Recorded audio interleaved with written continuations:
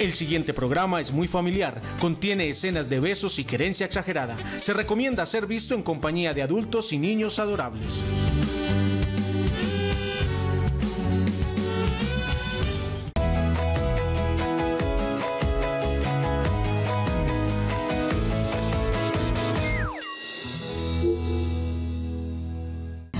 Nos unimos en un arrullo para abrir juntos un camino. Yo te ayudo a empezar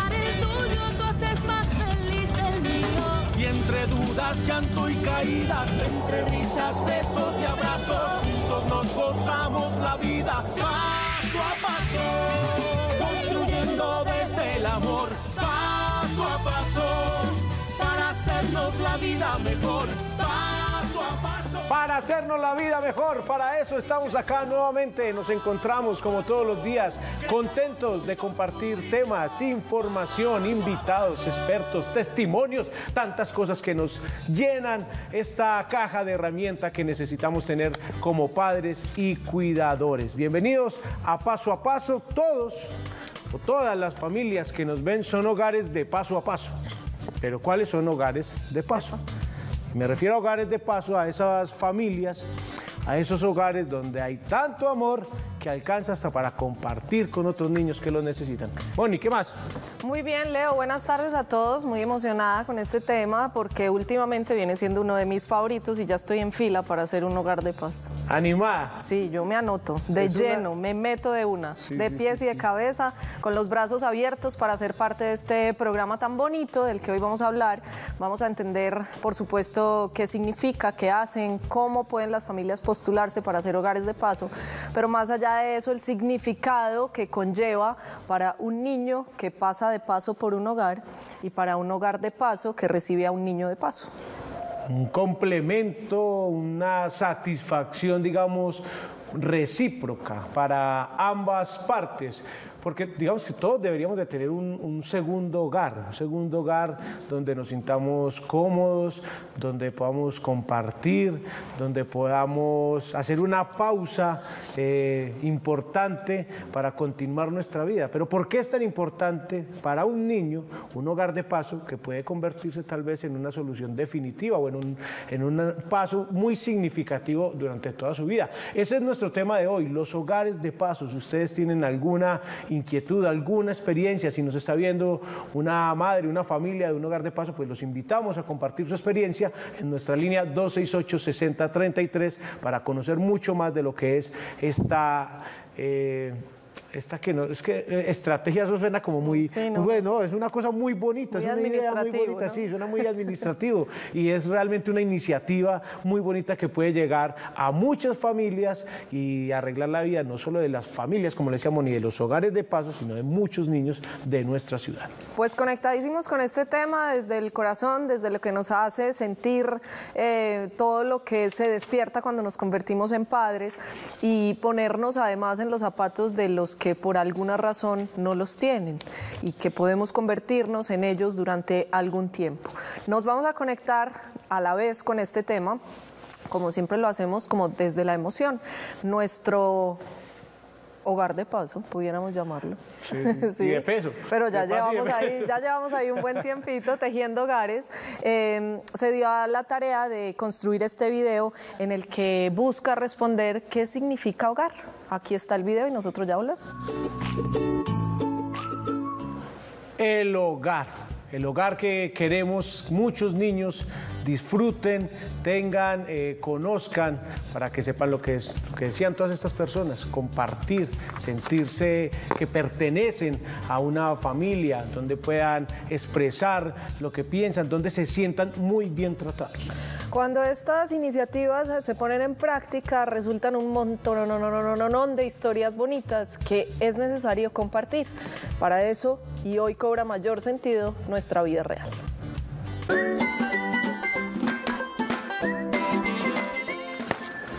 Y con nosotros está en paso a paso Ana Sofía Gómez. Ana Sofía, bienvenida a nuestro Muchas Paso a Paso. gracias, ¿cómo estás? Adelante, Hola, muy ¿cómo bien. estás? Ana Sofía. Contentos, gracias. Ana Sofía, de tenerte aquí. Tú eres mamá de Sebastián y de Luis Felipe. Son tus dos hijos, pero además eres madre de paso o has sido madre de paso de otros 16 niños. Sí. feliz, feliz con el programa. Hace un año estoy con este programa. Eh, inicialmente mi esposo estaba un poco mm, pues, reacio, no estaba como tan convencido porque tenía pues como que otra idea de lo que era el programa. Pero después de haber recibido el primer niño, Ya van 16. ya van 16. Eso lo resume todo, ¿no? Sí, Ya se con programó, fue eso. Con eso lo digo todo. En un año han pasado 16, 16 niños por tu casa. ¿Cómo te enteraste de este programa, de esta iniciativa, como dice Leo, para llamarlo de, de una manera más bonita? A ver, yo soy dama salesiana y los jueves tenemos un programa con niños donde un programa que se llama Puertas Abiertas. Allá iba una señora, eh, llevaba niños y cada mes cambiaba de niño. Yo le dije, ¿cómo hace? ¿Cómo hace? Le rinde cada mes. Y me dijo, es que yo soy madre de paso. Y yo, ¿cómo así? Explícame. Y me dijo, sí, yo soy madre de paso, cuido niños y máximo se quedan un mesecito conmigo. Y yo, ay, yo quiero.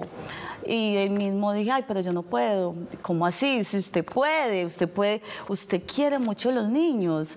Entonces yo, no, si puedo, llamemos, ¿cómo hago? Y ella ahí mismo llamó la coordinadora. Yo también y, quiero. y a mí el corazón me hacía así, yo, ay, qué rico, qué rico, quiero. Cuando llamó la coordinadora, ella inmediatamente me programó, me dijo, puede venir el lunes.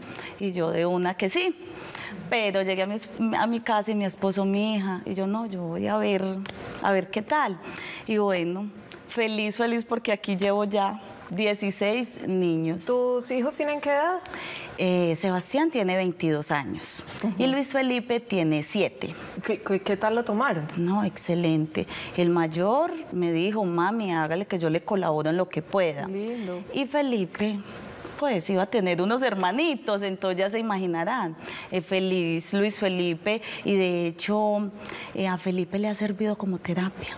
Sí. Porque Felipe era un niño pataletudo, le, le gustaba mucho llamar la atención. Es que ha de ser para ellos un aprendizaje enorme. Sí, ¿no? no, y Felipe no había tenido como ese hermanito, o sea, él tiene su hermano, pero tienen diferencia de edad, entonces no ha tenido como el hermanito con quien jugar, ¿sí me entiende? Y ya ha tenido 16, uno en un año de 16 hermanos. 16, Felipe se lo ha gozado. A esta mamá, con esos 17 hijos de paso que ha tenido, la inauguraron, pero con toda. Sí. ¿Cómo es la historia? Bueno, el primer bebé que recibí tenía 18 días. 18 días de nacido, era un bebé hermoso, eh, o sea, muy flaquito. trasnochar, ¿cierto? y todo lo que ello implica con un compromiso del que ahora vamos a hablar, porque no es solamente venga, échelo para mi casa, Sí. sino que hay que asumirlo con todo el valor, la entereza y, el, y la corresponsabilidad que ello implica. 18 días de nacido y llegó en unas condiciones bastante delicadas. Sí, sí, delicada porque fue por maltrato que llegó allá al hogar. Entonces, ¿qué fue? No, llevármelo para mi casa, darle mucho amor, mucho cuidado, mucha atención. Recibí un hijo más, un hijo de 18 días de nacido. Recibió un flaquito y entregó un cachetón. Ay, sí, hermoso. Oh, yo quiero.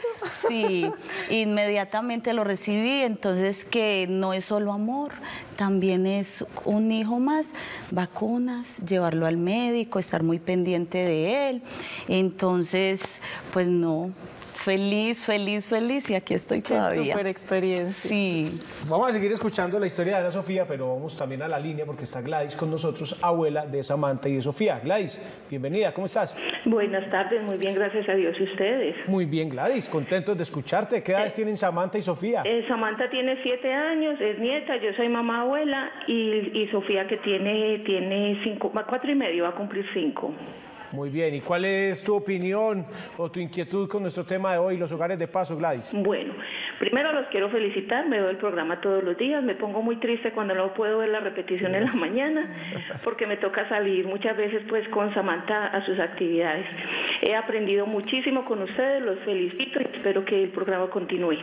Muchas gracias. Eh, bueno, segundo, eh, yo tengo, yo tuve hogar de paso, pero eso fue pues como mucha casualidad. Estoy un poquito asustadita. Eh, eso fue como casualidad porque yo pertenecía a una iglesia y allá llevaron una niña que estaba desnutrida, pero ella pertenecía al hogar Santana de, de- pues qué pena que dije el nombre. No, ella llegó a un hogar por desnutrición. Eh, tenía año y medio y fuimos allá pues por ella, nos la dieron como hogar de paso, empezamos con ella, yo ya tenía dos hijas eh, grandecitas y comenzamos con ella y nos la regalaron a los seis años, nos llamó Bienestar Familiar y nos dijo que si queríamos continuar en la adopción con la niña y hoy tiene 16 años. Ay, Gladys, qué historia más bonita.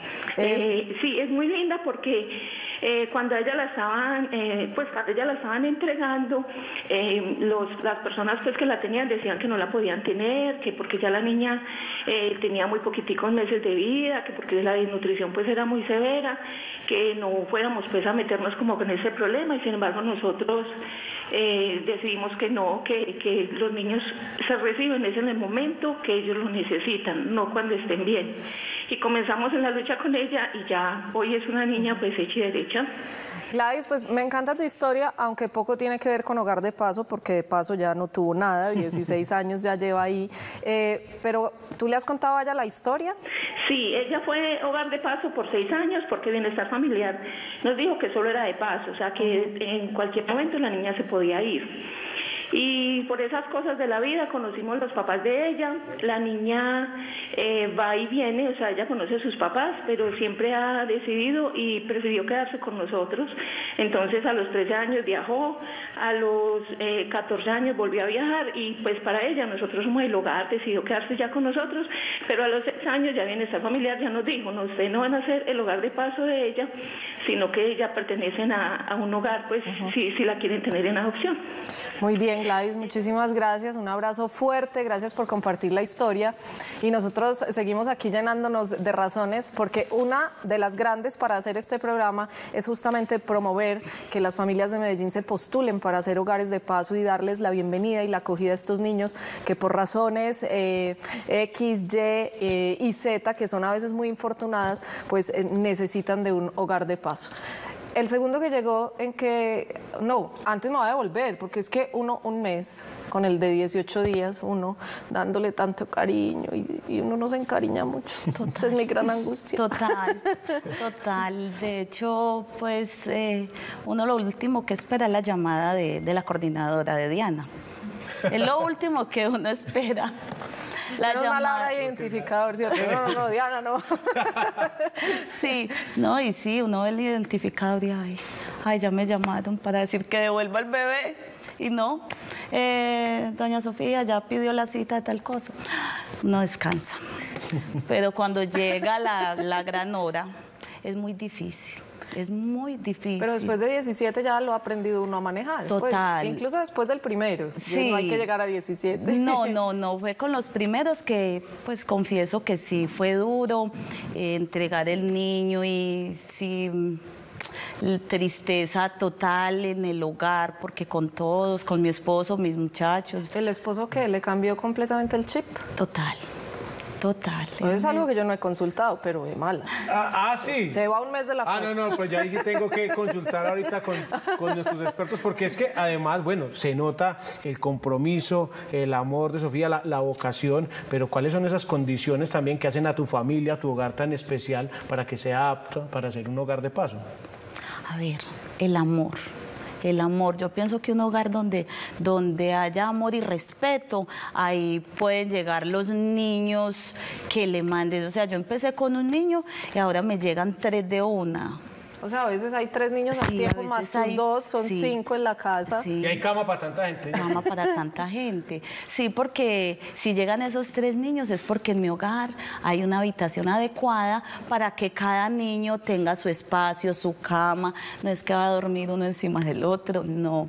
Primero, ven, pues que sí sea un hogar apto para esos tres niños y, y nada, lo otro es puro amor, puro amor eh, por, y pedirle al Señor pues que le dé a uno como mucha sabiduría para aprender a manejar pues como ciertas situaciones con a veces algunos niños que llegan, uno es cómo lo manejo, entonces mucha sabiduría, aprender a manejarlo. ¿Cuál es el mayor que te ha llegado? Asumo que el menor fue el de 18 días. El de 18, no, me llegó una de 8 Uno más. días. De 8 días. Sí, sí. Ay, Eh, bueno, el menor de 8 y el mayor. Seis años. Ok, yo quisiera conocerme las 17 historias, eh, pero bueno, no tenemos aquí tiempo, pero así a grandes rasgos, eh, esas historias sobresalientes, ¿qué, qué te ha pasado? Esas vivencias que has guardado en estos 17 hijos de paso. Bueno, a ver, tengo una historia de dos niños hermosos que recibí y al que al otro día llamé a la psicóloga con el pelo parado. Auxilio, no soy capaz, eh, porque llegaron unos niños con un vocabulario muy pesado y yo dije, no. ¿Qué edades tenían? Eh, tenían tres y cinco años. Y yo dije, hermanitos. Y yo, no, esto no está bien para mi hogar, para Felipe que tiene siete años, que se graban como lo que no deben, es lo que más rápido aprenden. Entonces llamé a, a mí, me pues el trato que tenían conmigo no era el mejor. Entonces yo llamé a Viviana, la psicóloga, y le dije, Viviana, yo no soy capaz con estos dos niños, no soy capaz. Entonces ella me explicó y me dijo, no, Sofía, ensayemos, hay que entender que los niños vienen de un ambiente muy pesado, esas eran las palabras que ellas, que ellos escucharon, las que ellos saben. Ahí su tarea es enseñarles. Entonces yo dije, pues si mi tarea es enseñarles, les voy a enseñar. Es mi misión en Sí, este momento la entonces vida. es como utilizar palabras mágicas porque ellos de por favor, muchas gracias, nada. Entonces en mi casa yo solamente escuchaba palabras mágicas. Si no escuchaba esas palabras, entonces los niños llegaban y, y- tía, porque yo les enseño a que me digan tía. Sí, son unos niños, son unos niños ya grandes que entienden que tienen su mamá, que tienen su familia y que llegan a, a otro hogar. Entonces yo, yo voy a ser tu tía, la que te va a cuidar unos días, unos días y mientras vas a estar acá. Entonces, ¿quién voy a ser yo? La tía ¿Y Sofía. lograste ver ese cambio con ellos en, ese- en el tiempo que los tuviste? Total, total, porque como yo no escuchaba, yo no escuchaba sino palabras mágicas, entonces ellos eran, quiero leche, quiero galletas, quiero eso.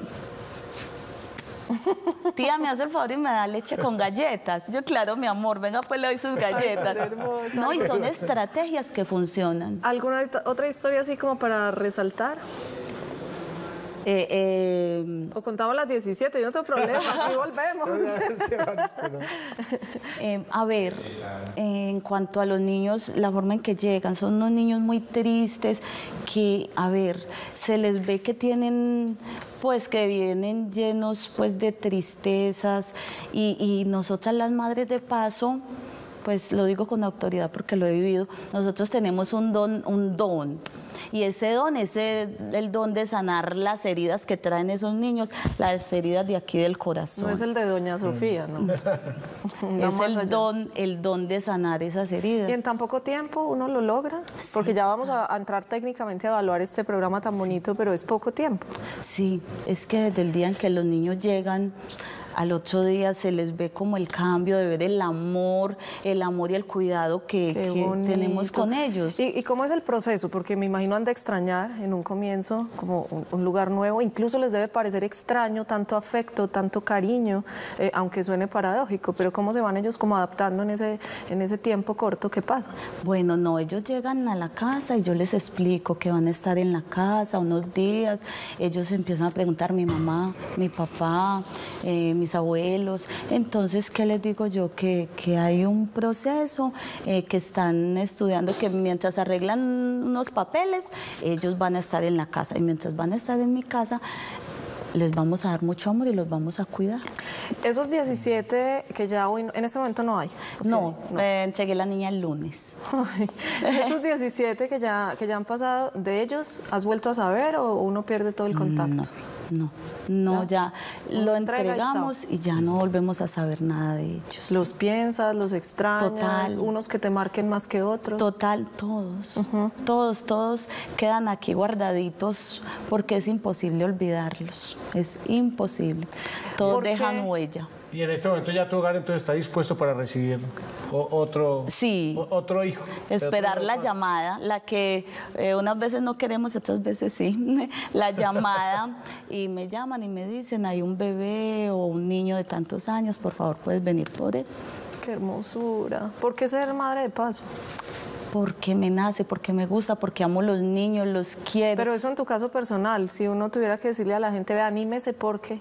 Ah, no, eh, yo le diría pues a todas las personas que me están escuchando, a las mamás y no mamás, porque no tienen que ser mamás, eh, que sean responsables, que tengan mucho amor para dar a los niños, que quieran mucho a los niños, que les tengan paciencia, porque a los niños hay que tenerles mucha paciencia, que se animen y llamen, que llamen al hogar de paso y digan yo quiero, yo ¿Has quiero pertenecer al ¿Has programa. encontrado mamás, amigas de paso? Pues que, que te las has encontrado de paso justamente por esta condición. Sí, las he encontrado y de hecho en este momento, en este momento tengo a varias mamás que, que están como que sí, como que no, pero les da miedo entrar es por la parte afectiva, porque dice yo me enamoro de los niños y yo qué hago, yo las invito a Leida.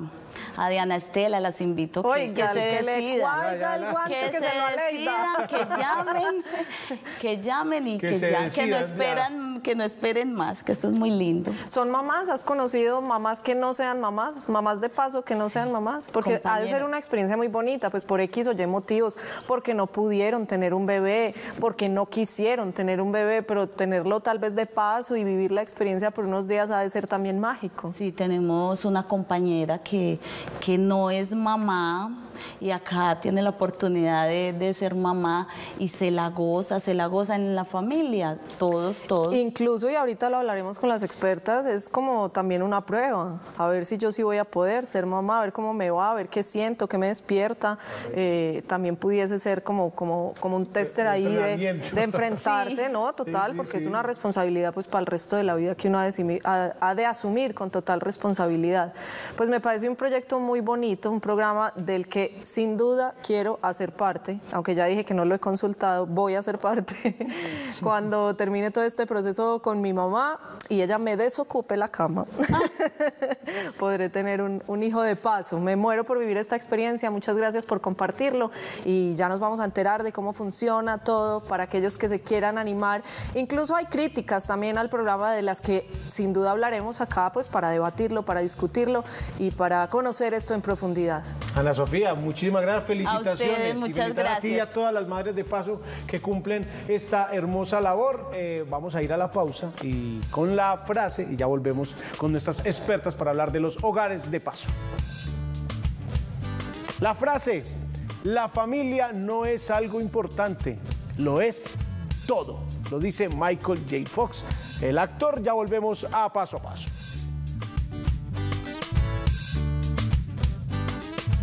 Estás viendo Paso a Paso.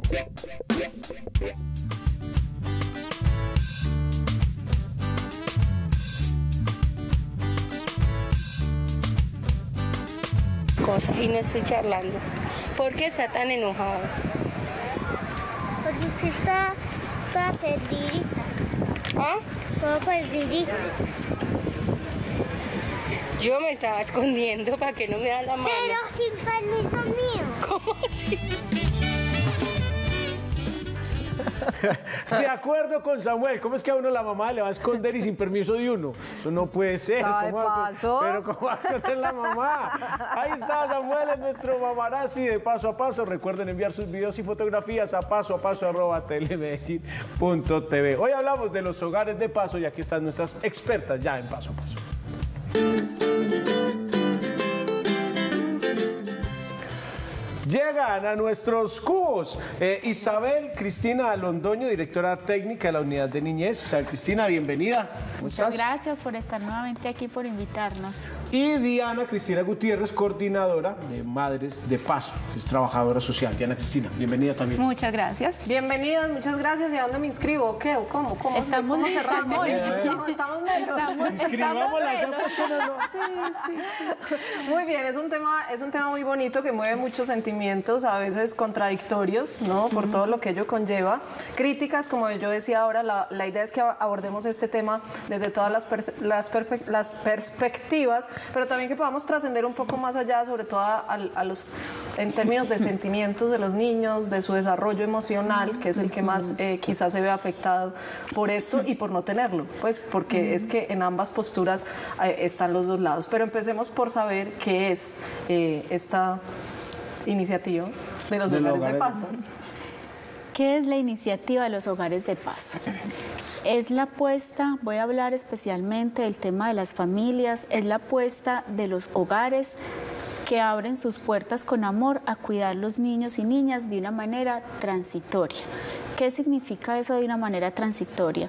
Nos llegan niños lastimosamente en la ciudad, hay que decirlo, con mucho dolor, no debemos tolerar por ninguna razón el maltrato a nuestros niños y niñas, pero nos llegan casos como el que nos manifiesta la madre de paz, un niño de 18 días de nacido que ha sufrido situaciones de abandono, de descuido, con una situación alta de desnutrición y con la autoridad competente que en este caso para Medellín es ICBF o comisarías de familia deciden que ese niño o esa niña no puede estar en su entorno familiar, en su familia de origen, debe ser retirado para que vaya a unas instituciones o a una familia de paso, mientras que este defensor de familia o comisario evalúa la situación y define si el niño o la niña puede regresar nuevamente a ese hogar porque hubo un compromiso de cuidado de esa familia o busca otra familia cercana, la de la abuela, la del tío, o definitivamente hay que ingresar a ese niño o esa niña a otra modalidad de atención especializada donde permanece mucho más ¿Cuánto tiempo. tarda eso? Eh, ¿Uno hemos hogar de llegado paso por cuánto tiempo? Eh, Mínimo y máximo. Mínimo ocho días hemos llegado a tener niños que han estado un mes. Como nos decía ahora doña Ana, pueden estar un mes aproximadamente en ese proceso de evaluación. Siempre intentamos en compañía como alcaldía, en compañía del ICBF y también comisaría, con nuestros equipos psicosociales, es evaluar las condiciones de ese niño y de su familia, de su red de apoyo familiar. Porque ¿qué es lo que más queremos? Que los niños crezcan en dónde? En hogares, en hogares llenos de amor. Entonces se hace todo ese proceso de evaluación para que efectivamente si, si nos toca con la ayuda del ICF determinar que el niño no puede regresar a un hogar, de su familia de origen, de su red de apoyo familiar, debe ir entonces probablemente a un hogar sustituto donde ya permanecen más tiempo, ya no es de paso, ya está mucho más tiempo, o a una institución de protección. O quería preguntar, se responde de alguna forma, la, la inquietud que tenía era si un niño podría estar en, en- pasar de un hogar de paso a otro eh, varias veces mientras se le definía su situación. Puede pasar de la medida, por eso se llama hogar de paso, que es una medida transitoria mientras se hace todo ese proceso de evaluación y pasa a otras modalidades de atención. Una de esas modalidades se llama hogares sustitutos, que es para que los niños no tengan que ir a institución de protección como tal, porque es otra manera también de brindar protección, pero que los niños puedan permanecer en un entorno de hogar, en un entorno de familia. Cristi, ahorita decías, nos llegan niños permanentemente, pero hay como en este momento niños esperando por un hogar de paso, siempre hay niños esperando por un hogar de paso, o cuando uno se postula hay que esperar, como decía la mamá, esperemos a ver qué, qué nos llega para que ustedes sean hogar de paso, o por qué estamos motivando a las familias a que sean hogares de paso. Estamos motivando a las familias que sean hogares de paso porque desafortunadamente en la ciudad todos los días se presentan situaciones de maltrato con nuestros niños y niñas. Eh, nosotros nunca tenemos en lista de espera un niño que está pasando por una situación de maltrato y tiene que permanecer en ese entorno de desprotección, de no cuidado, porque no hay un cupo, no. De alguna manera, con todo el apoyo de estas familias resolvemos que haya una acogida de ese niño y que lo podamos tener en un sitio de protección, pero siempre queremos es tener ese aumento de esas familias porque lo reitero desafortunadamente. ¿Cuántas hay? En este momento tenemos 22, 22. familias. No, que son 22 pocas. familias. Familias tenemos con hogares de paso. sí. 22 familias que son de paso y Ya casi llamamos 23. ya casi yo espero y probablemente 24 Sí, Leo, lo voy a Tengo que ajustar algunas condiciones, pero me gustaría mucho tener la posibilidad de, de ofrecerle. A y se llaman familias por familia eso porque no es la mamá no es la mujer es una familia de paso porque queremos que sea precisamente ese concepto de hogar al que llegue el niño y la niña A propósito de ajustar las condiciones como dice Leo, ya vamos a, a saludar a Sandra, eh, que ¿uno que recibe? Pues eso no lo pagan, eso es un, un acto lleno de amor y voluntad, de servicio, de empatía, pero uno, ¿qué, qué ayudas recibe por parte del Estado? Bueno, En este eh, caso, inicialmente nosotros aclaramos que no es un trabajo como tal, es una labor social y una labor voluntaria que realmente pues sí tiene unas, unos apoyos económicos, unos apoyos económicos que le sirven para suplir gastos como en el mercado, para ampliar el mercado familiar, para los trámites que tengan que hacer, eh, trámites en salud, vacunas, lo que decía la mamá de paso, transporte.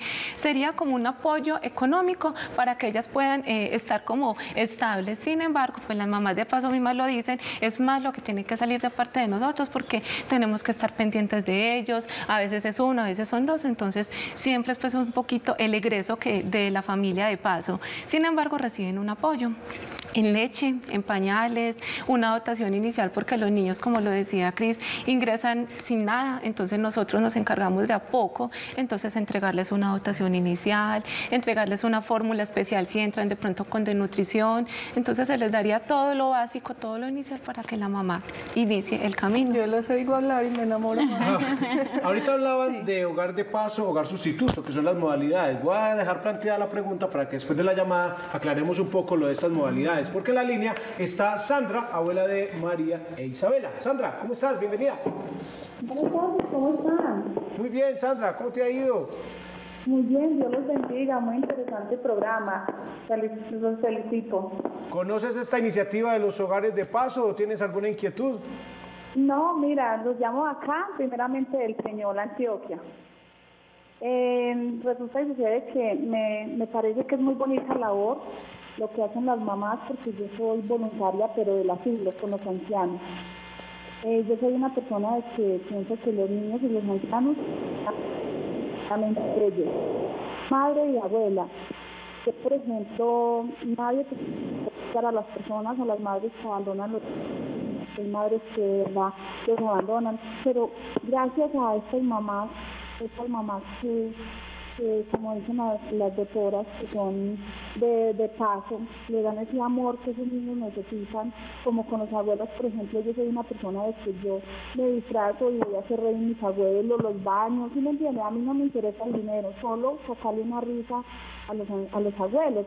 En este caso a mí me parece muy linda la labor que hacen con estos niños, porque los niños son, no tienen la culpa de nada, son un más lindo de la vida y me interesa mucho cómo uno poder llegar a obtener este, este beneficio con los niños no en caso de dinero, sino que yo todo lo que uno lo haga porque le nazca, quiere darles amor a esos niños como una madre, ¿sí me entiende? Eso sería mi inquietud, cómo uno llegara a preguntarle a las doctoras cómo uno accedería así para, para tener un bebé de eso o unos bebés de esos en nuestra casa.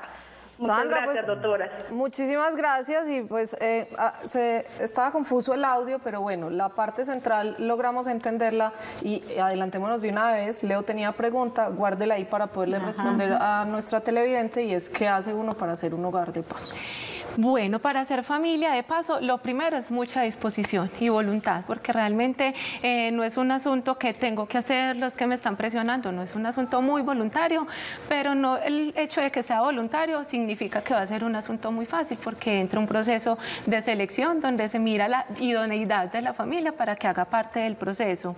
¿Qué hacen? Se comunican a la línea 444-4541. Ya está ahí en la pantalla para que tomen nota, 444 45 41. Exacto, se comunican conmigo, yo entonces me encargo de agendar una cita personalizada porque cada familia tiene su historia, cada familia tiene un motivo por el cual quiere ser madre de paso, entonces ya encarga, eh, nos encargamos de hacer como una inducción, una inducción de explicarles qué es, en qué consiste. Yo trato de hacerles como el día a día, usted ingresa, hace esto, esta es tu responsabilidad para que ellas sepan cuál va a ser esa cotidianidad y iniciamos un proceso de selección, una entrevista eh, con el psicólogo donde todo el grupo familiar debe asistir para mirar el perfil de cada uno, no solo el perfil desde las condiciones de infraestructura de la vivienda, sino también el perfil emocional de las familias, porque muchas veces lo que decía la madre de paso anteriormente, se movilizan mucho, se movilizan muchas emociones, muchos sentimientos, entonces tratamos de evaluar que emocionalmente tengan ese equilibrio para asumir esos cuidados. Y otra de las preguntas o de las dudas que alcancé a percibir en, en lo que escuchamos de esta llamada es una de las críticas, digamos, a este tipo de programas. Y es la irresponsabilidad de las madres que entonces como saben que el Estado les cuida a los hijos o les busca un lugar de paso, se dedican a tener hijos, pues como para que el Estado se los eduque y familias a recibirlos, pues porque a veces eso quedó saldado con el tema de la entrevista y hay que hacer un filtro súper cuidadoso, pero es otro de los pensamientos de, ah, no, quienes los reciben es para gastarse la plata en ellos y se desentienden del muchachito. familiar. Eh, precisamente por eso, Mónica, la alcaldía tiene una apuesta fundamental en fortalecer las familias cuidadoras y protectoras de Medellín. Queremos familias que cuiden a sus niños, niños que se gesten en familias que los desean, que los planean, que quieren que formen parte de su hogar, porque efectivamente nos damos cuenta que las principales agresiones por las que pasan nuestros niños y niñas ocurren al interior de su hogar, al interior de su familia. Y eh, tenemos como responsabilidad la alcaldía proteger a esos niños. Como Estado, esos niños que no cuentan con una familia protectora, nos corresponde brindar todas las condiciones que sean necesarias para poder garantizarle los derechos a los niños y las niñas.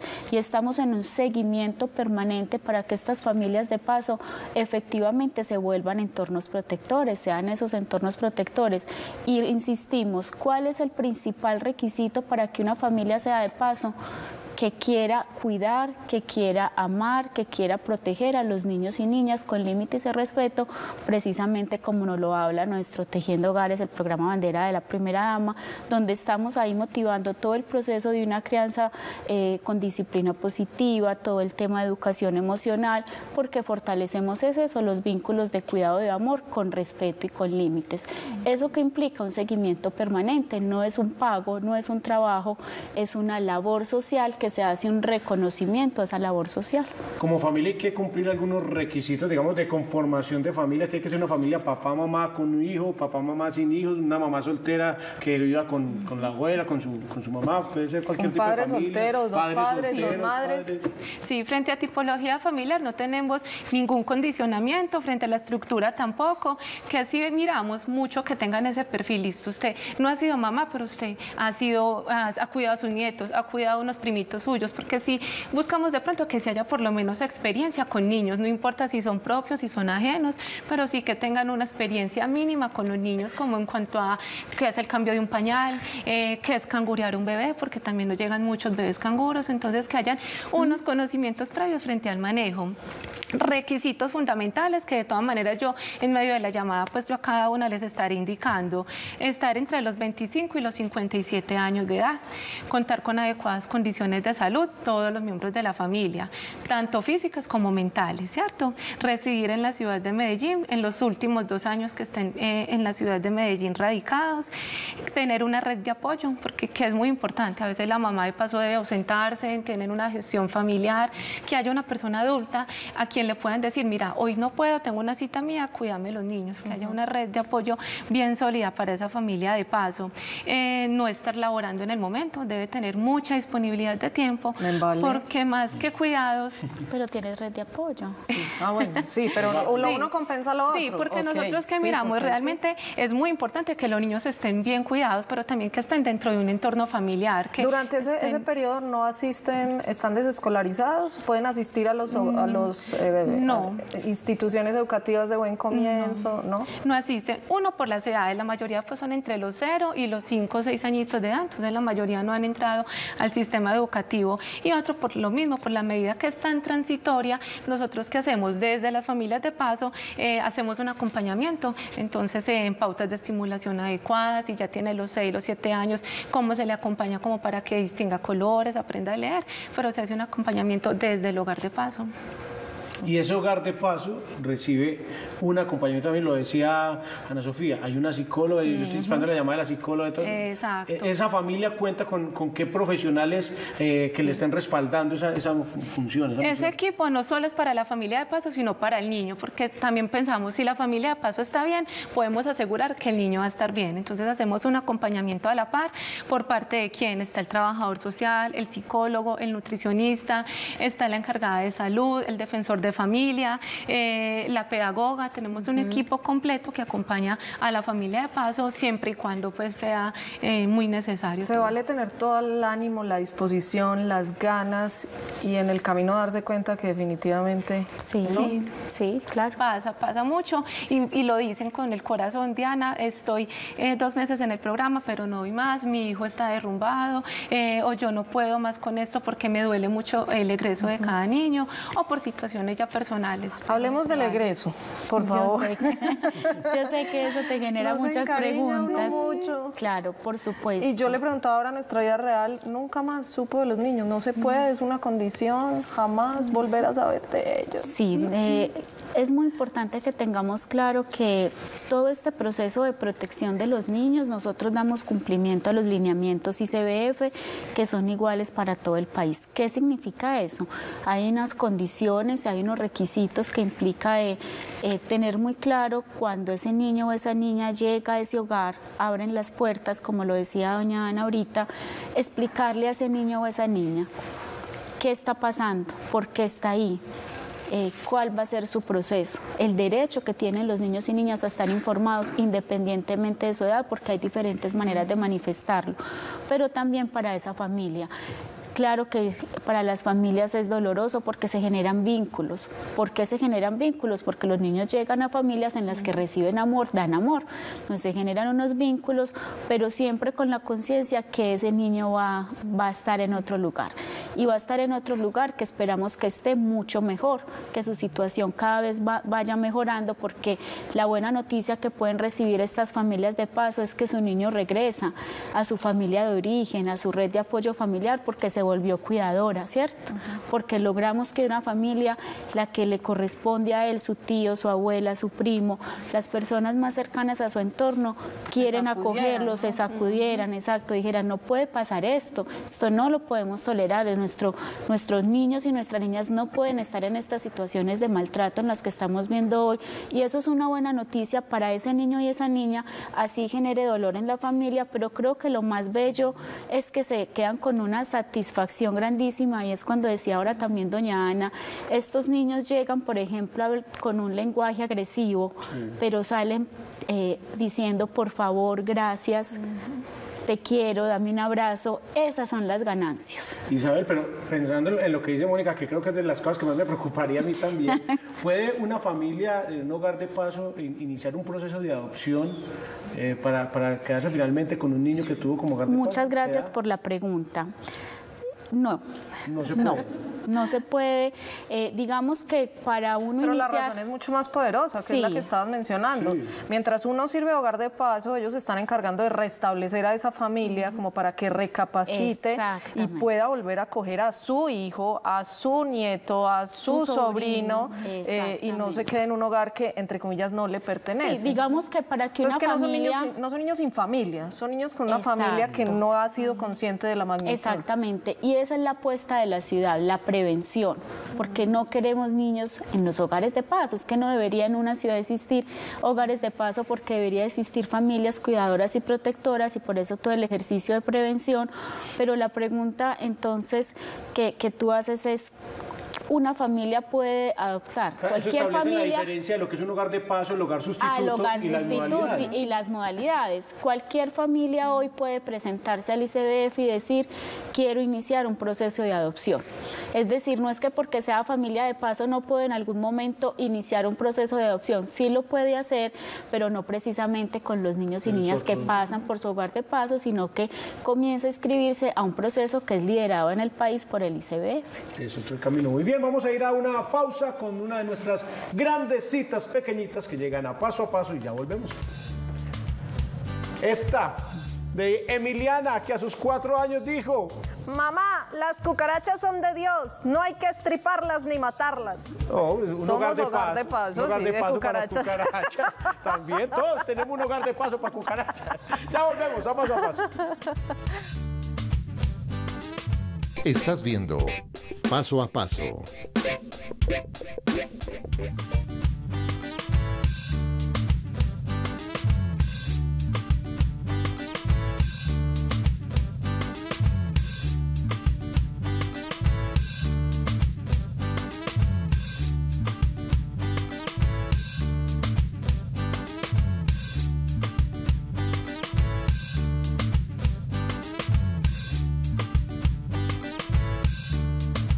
Ahí teníamos a Sergio y a Simón que tenían un sueño de paso, paso de siesta, sueño profundo ya, en nuestro Mamarazzi de paso a paso. Hablamos de los hogares de paso y conversamos con Isabel y con Diana, que Diana decía además ahorita, eh, es una iniciativa que se da en Medellín. Yo pregunto, ¿para el área metropolitana eh, está la misma posibilidad? ¿Familias que quieran pertenecer a este programa lo pueden hacerlo o no? Solo Medellín. Solo Medellín, solo Medellín en este momento, porque eh, ya Isabel Cristina les va a contar, en este momento solo el hogar de paso lo tenemos acá en el municipio de Medellín.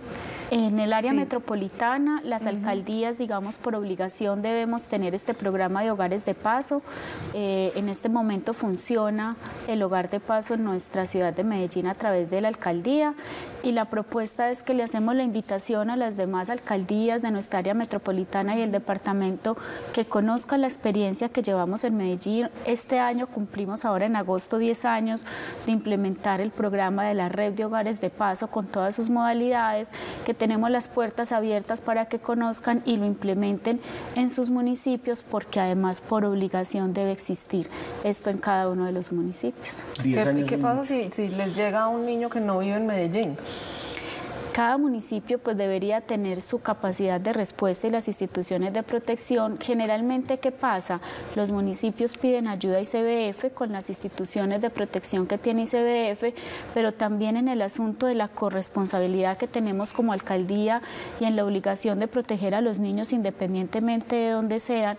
Si nos llega una situación de un caso urgente de un niño de un municipio del área metropolitana, y la ICBF nos solicita la medida de protección, poderlo albergar en estos espacios, nosotros abrimos la puerta porque nuestra prioridad es la protección de los niños y niñas. ¿Qué significa para un niño de estos un hogar de paso en términos y en medio de su confusión, además, pero por dónde están mis papás, que nos contaba ahorita nuestra mamá Sofía de paso, eh, ellos preguntan, ¿y dónde está mi mamá? ¿Y dónde están mis papás? ¿Y mis abuelos? ¿Y yo qué hago acá? Eh, pero terminan también agradeciendo un montón. Eh, ¿Cómo- ¿Cómo se da eso en términos de su evolución y desarrollo emocional? Para los niños y niñas significa apoyar y fortalecer todo su desarrollo emocional y su crecimiento. Es decir, los niños comienzan a identificar vínculos de amor, vínculos de afecto. Es muy común que ustedes ven con estos niños que han pasado por estas situaciones dolorosas, que cuando tú le das un abrazo, cuando tú le coges la mano, cuando tú eh, de alguna manera le expresas afecto, ese niño o esa niña inmediatamente responde de la misma forma empieza ese niño a identificar unas prácticas diferentes, no de agresión, no de maltrato, por el contrario, unas prácticas de convivencia, de diálogo, de comunicación y empieza a generar unos vínculos distintos. Por eso hay niños que llegan con un lenguaje agresivo y terminan con un lenguaje de amor.